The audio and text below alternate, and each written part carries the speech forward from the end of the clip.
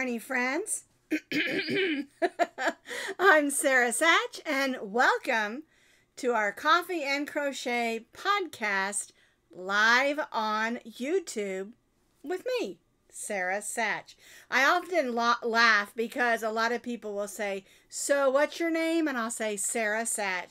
And they'll say, How do you spell that? And I'll say, S A R A. And they're like, No, no, your last name. I'm like, oh, S A C H, Sach, like patch. I don't know why I find that so funny, but it is. They rarely ever know how to say my last name, even though I've just said it.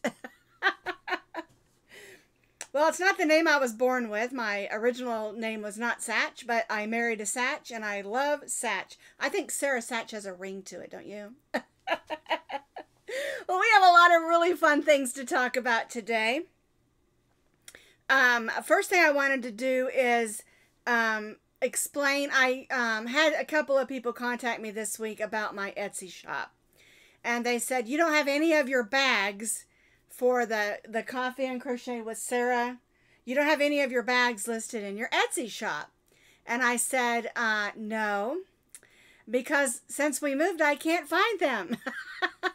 I had a lot, a bunch of them ready, you know, made up, ready to go and I cannot find the container that I put all of those bags in. So I have uh, two bags over there, one of the zip bags and one of the project bags that we'll be using for our giveaways for the next two months. And hopefully I'll be able to find the rest of them. I had a bunch made up so they would be ready and they're not. The other thing I wanted to talk to you about is the August giveaway. Um, I'm not going to start it today. Uh, we're gonna I'm gonna change it up just a little bit, and we're gonna start the August giveaway on this the August, not August. on the second Tuesday of this month, and it'll go for the next two weeks after that. All right. I've been really sick this week. I've got some uh, physical issues that I'm dealing with, and I just got away from us, and so we're going to do that next week. We'll start it next week for our giveaway. Now, the name Sach, someone asked me if it was German. If it was German, it would be Sock, probably like Bach. But actually, it's an English name. My husband's family is from uh, England. So, anyway, that's that. Okay, so let's clink in. Clinkety clink clink.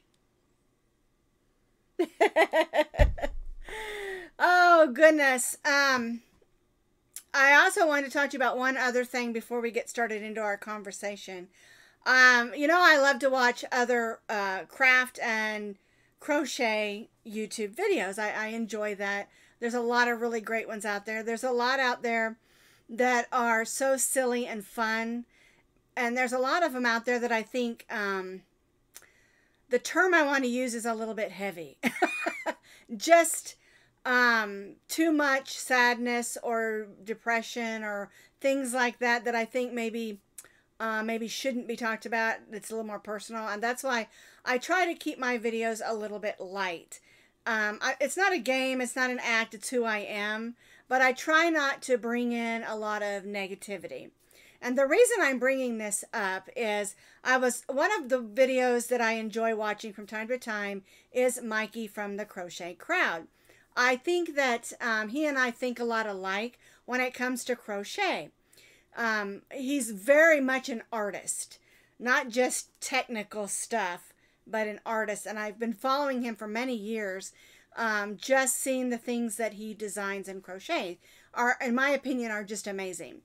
Well, he put out a video this last week about stopping the negativity and the unkindness in the crochet world. And I feel really sad that he had to do that but I really agree with what he had to say. And um, one of the things that were addressed was when you go into a group, um, say on Facebook or Ravelry or something, and someone posts uh, something that they made, and they may be a newer crocheter or not, and you don't care for it, what they're posting as far as the item or the colors, and you say something unkind. And I just totally agree with him that there's no place for that.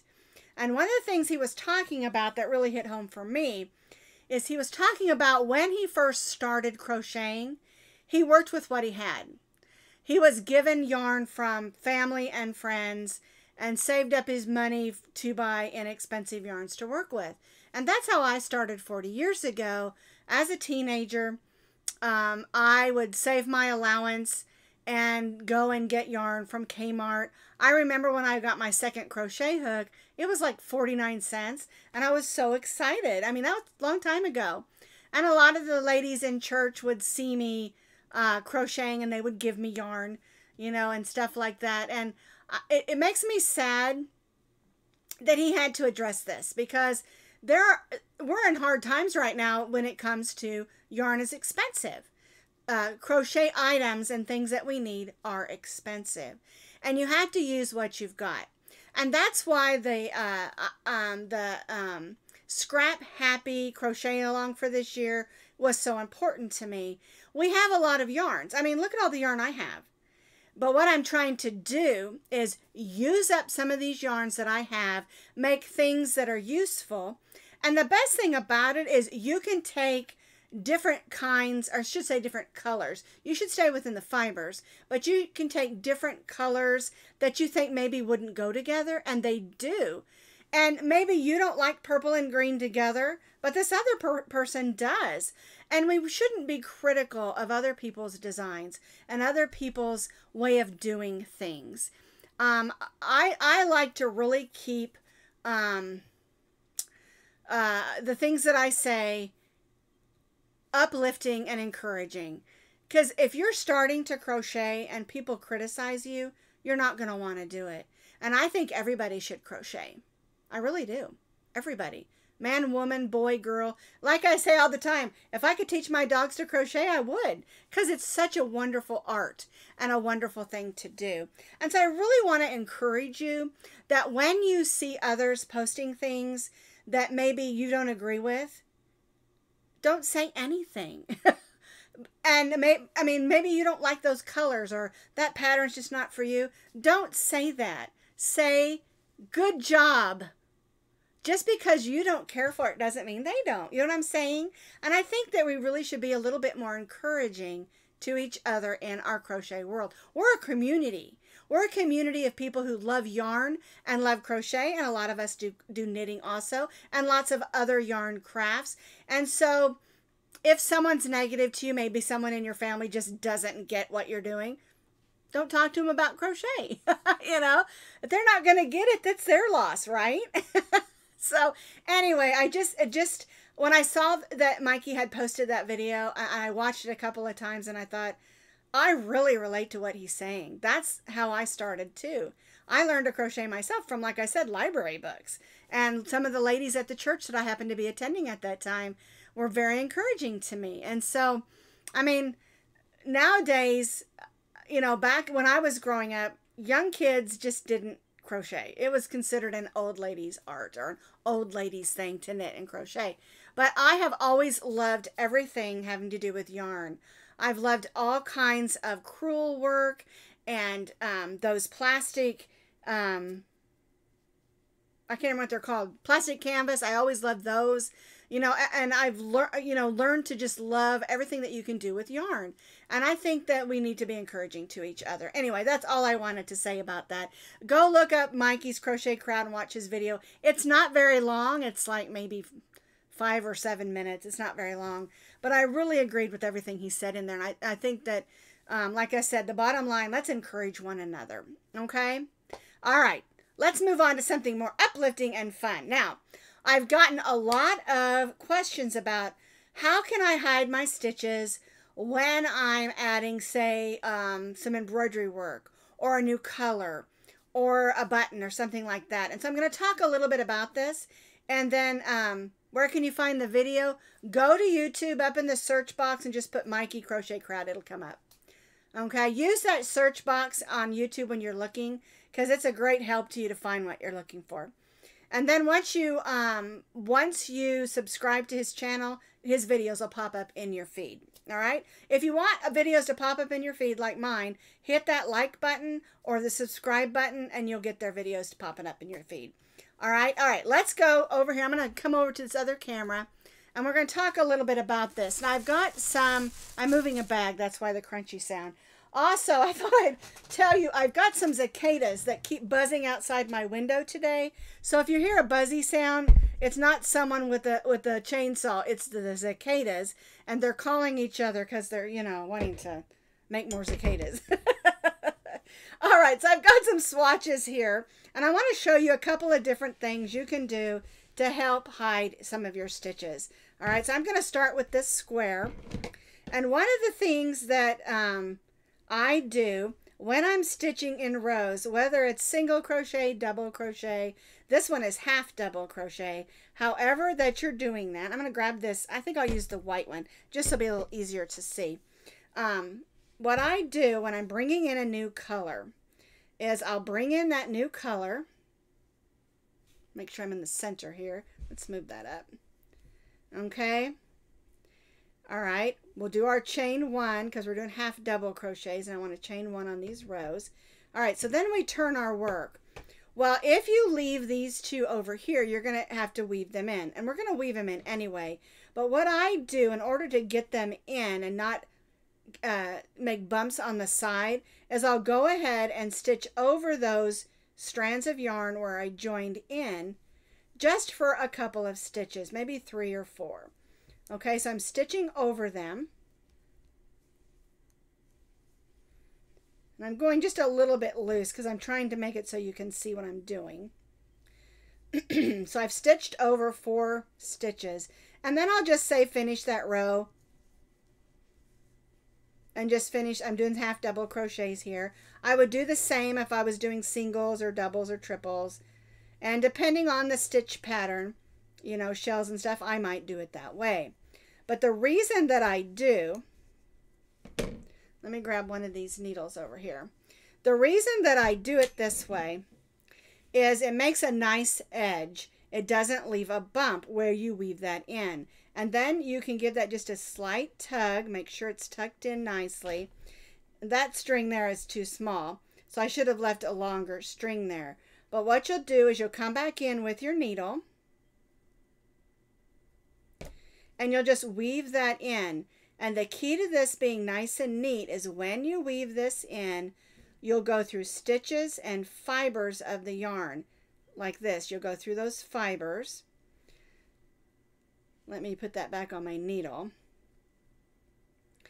And you want to stay in the color of the yarn that you're working with.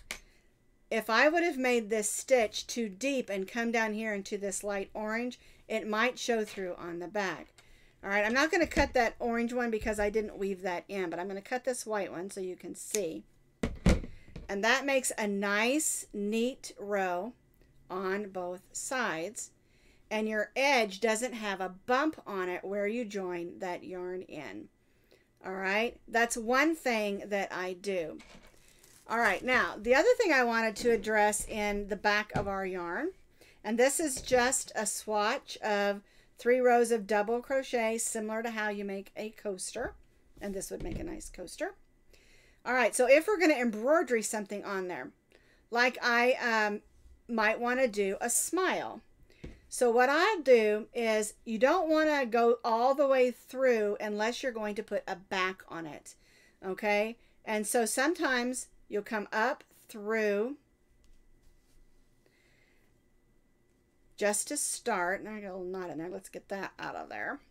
We'll leave this tail for weaving in, all right? All right, so now I'm just going to stitch a smile. So I'm just going to go through the tops of these stitches.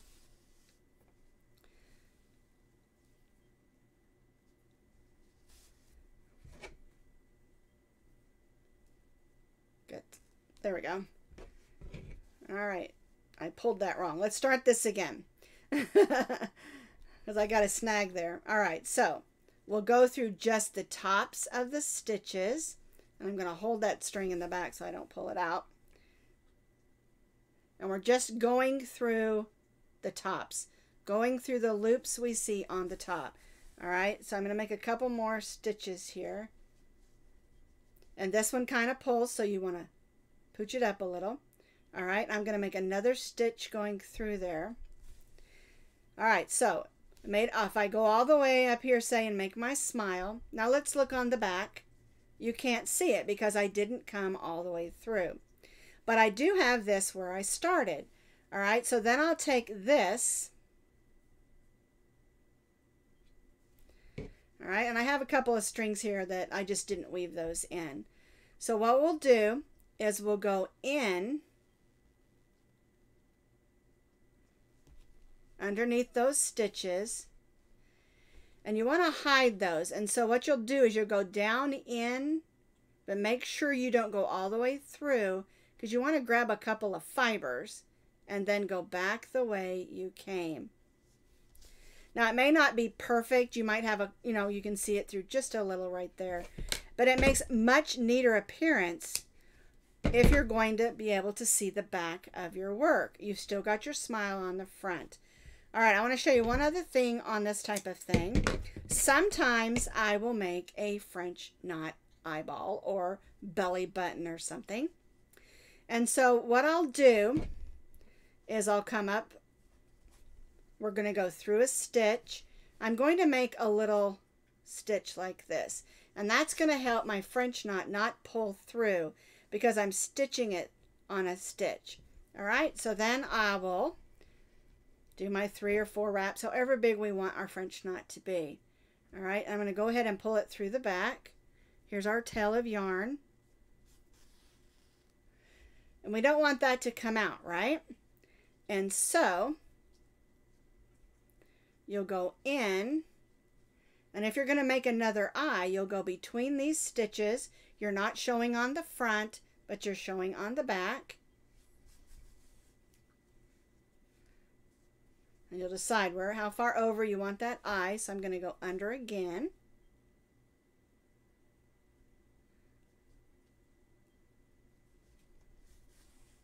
And again, it may not be perfect, but it's going to hide it nicely. All right, so here's where I came up.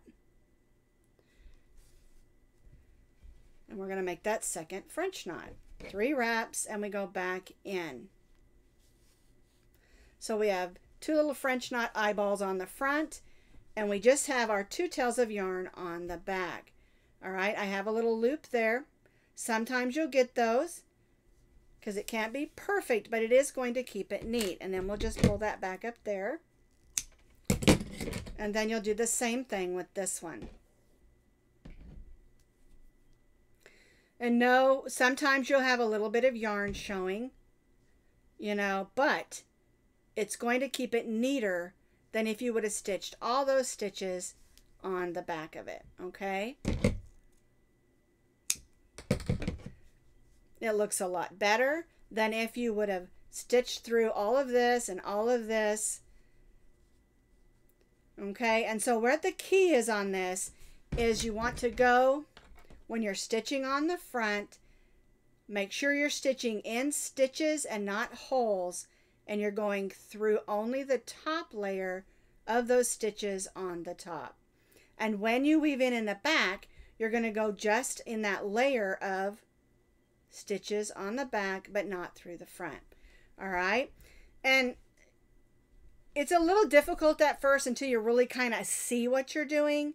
And it's really, really hard not to be messy. It really is. And so, it, and even though it takes a few more minutes, you know, maybe to get it done, it is going to look a lot neater. All right. So the other thing I wanted to show you is buttons. Um, I'm just going to grab this needle since I already have it threaded with this white yarn. And when you have something like this that's a little more open, stitching in those back stitches can be a little bit more difficult, but you'll have to kind of go up your stitch like this when you're doing that, doing something similar to what we did on these. All right. It can be done. It's just going to take a little bit more work. All right, I'm going to pull this tight because I want that hole gone. And I'll weave that in later. But I want to show you what I do with a button. Okay, so I've got a button with two holes. And what I do is I go through like this.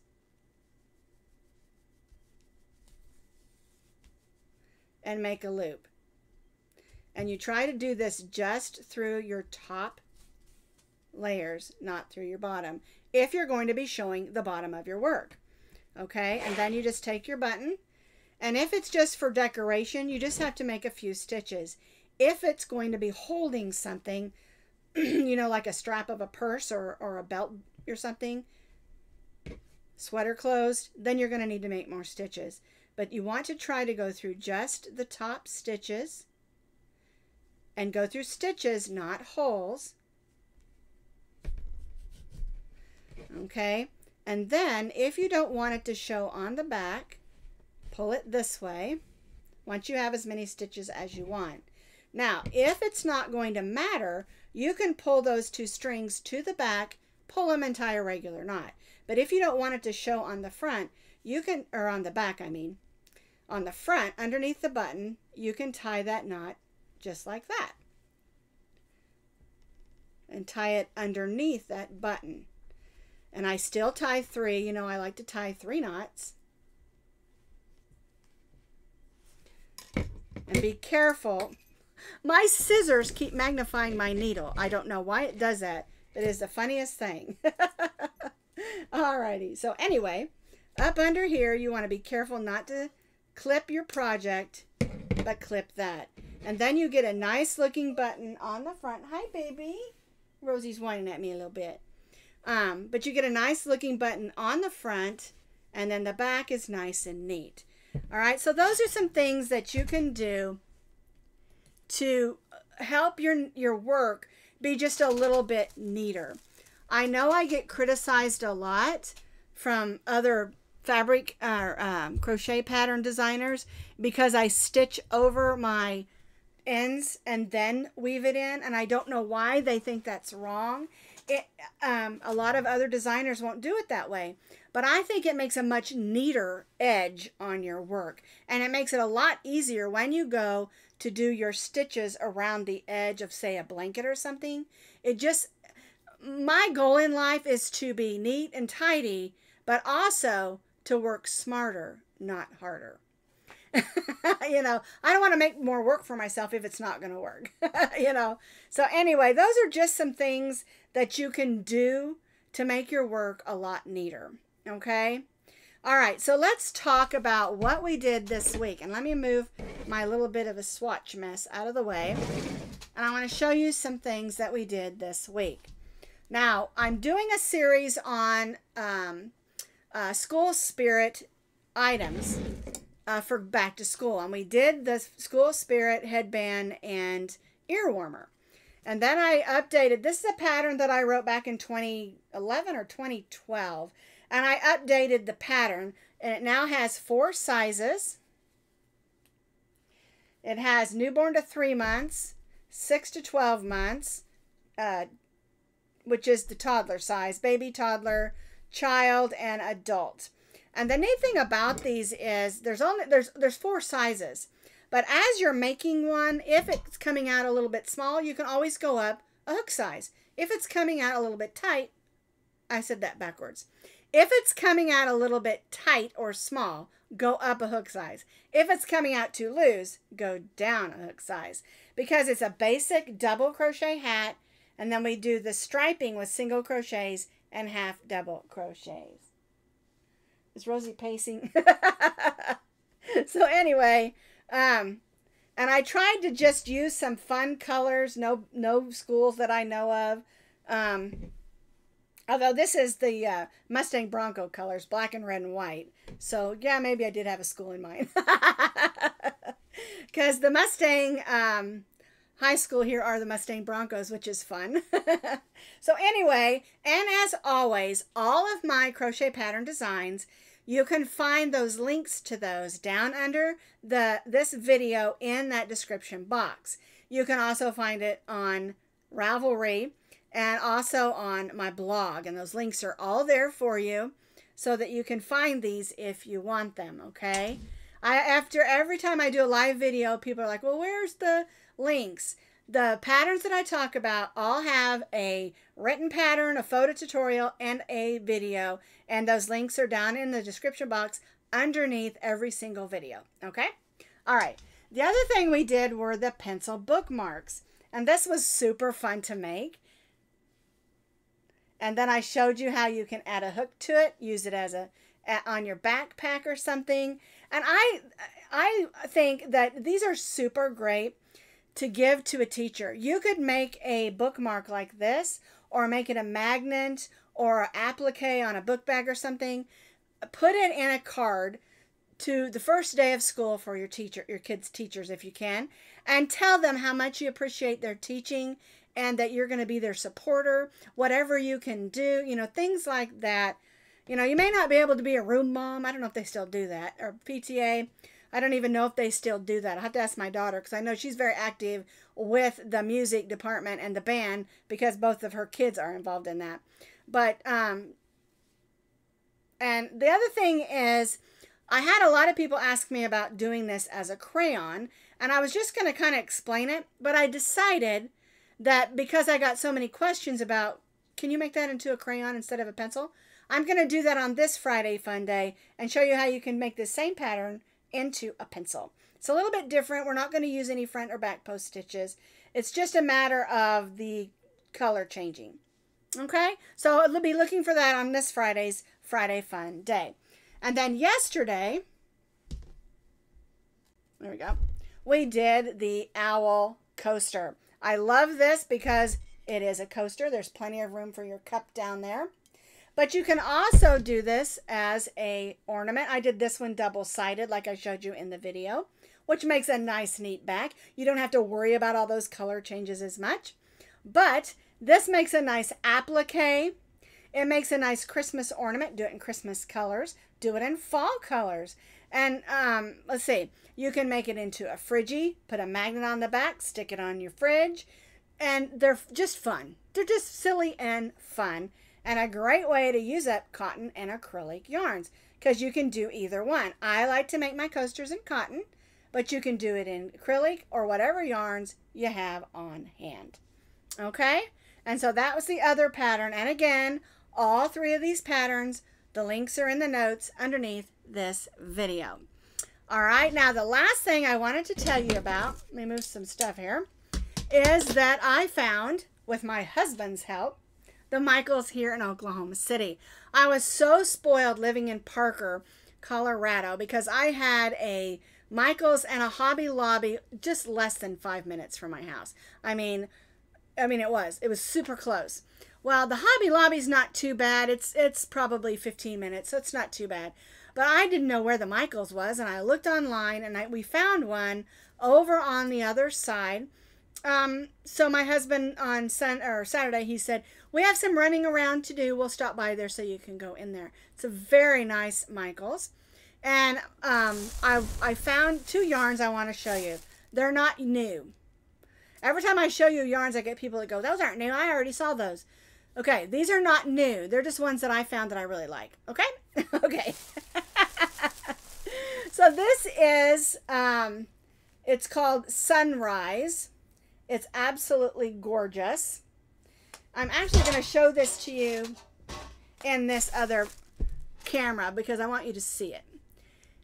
Isn't that beautiful? It absolutely looks like a sunrise. I got two of these. You know I love yellow, and the brightness of this is just amazing. Three ounces, 160 yards. Um, it's acrylic yarn called Sunrise, medium number four. Isn't that beautiful? I just love it. I got two of them. And I've already been playing with this one, you can see. and so I think we're going to have something fun to do with this next month. All right, now, as I'm walking around, my husband goes, have you seen this? and he pulls this one out. Okay, this is called Yarnspiration Latte Cakes, and I have done some work, of course, with latte cakes, or latte, I should say. Someone will correct me. 8.8 ounces, 530 yards. It is a bulky number five. And let's see, it's 58% acrylic, 42% nylon. It is super soft. And I did notice that the other latte or latte cake, the yarn in it was a little bit thinner than this one. So this does look like a true five, bulky five. And look at these beautiful colors. It moves from like a teal to soft kind of blush to pink to like a really soft yellow and then this bright magenta and this teal. Isn't it beautiful? I'm real excited to work with this one. And having eight and a 8.8 ounces is a good amount of yarn. And I think this would make a beautiful shawl or wrap. My husband picked this out. He's really great at finding beautiful colors. Let's see, what is it called? It's called Rose Scented. That is a perfect color or a perfect name for this color yarn. Okay, so those are the two yarns I'm going to show you. I am trying really hard not to buy yarn. And I, I bought yarn when I first when we first moved down here at the Hobby Lobby. My daughter and I went on a Saturday. And um, we walked around Hobby Lobby. They'd already had all their sales because I didn't want, I knew if I went in Hobby Lobby when they were having all of their sales, you know, because they do their spring sale, they do the clear out, then they bring in all the new yarns. I knew I would be so tempted to um, buy a bunch of it. And I'm trying really hard not to do that. So, Lisa says she loves my husband. Cool. he really is great at picking out yarns and spotting yarns and he and he enjoys going with me. He really does. Um, a lot of husbands don't like going and looking at yarn. They think it's silly, and that's okay you know, I don't mind. But my husband has always enjoyed going with me. He doesn't go with me all the time, but I think that it gives him joy to find some things that I like that I may not have spotted. You know, so anyway, I do appreciate that about him. I saw a meme this week that says, Find a man that loves you um, and says, Honey, you can have this yarn and I'm okay with that, or something like that. And I'm like, I did. I found that guy 40 years ago. I was just thinking, I said I've been crocheting for 40 years, but I've been married for 40 years, so I've had to have been crocheting for over 50 years. wow, that's old. On another note, my husband turned 60 yesterday. Um, and uh, so, what is it? 60's the new 40? Well, I feel like I'm the new 80, to be honest with you, this week. Anyway, that is all I've got for you. That's a lot of stuff. And I really do want to encourage you to encourage each other. One of the things in our Facebook group that we have, uh, PPD Puppy Love Crochet, we have a great group of people. I love seeing all the things they're working on, all the things you're working on. And I also love how encouraging everybody is to each other. You know, and I, I've said this many times, we're all at a different place in our crochet journey. And just because you've been crocheting for 40 years doesn't mean you've arrived. It means you're still learning. And if you're just crocheting for six months, you're still learning too. And we're all still learning because crochet is an ever changing, ever growing um, art new yarns, new techniques, old techniques that are new again. You know, it's all it's all fun because we need to be learning in our craft and in our crochet. I would get bored if I wasn't learning all the time, you know? So anyway, oh, yesterday was Alicia's birthday also. Awesome. Happy birthday. my daughter's birthday is the 14th. And what's funny is my husband turned 60, my daughter's turning 40, and so between them, they have 100 years of experience. okay, I'm done being silly. I'm going to let you go, but I want to thank you all for being a part of my YouTube channel. And if you want to come join that group, PPD Puppy Love Crochet on Facebook, the link is also down in the notes under this video, okay? Uh, you will have to answer a couple of questions. We're real picky about who we let in because we had some issues with spammers and we don't want those. We want people that love to crochet like we do. All right. Let you go. Bye-bye now.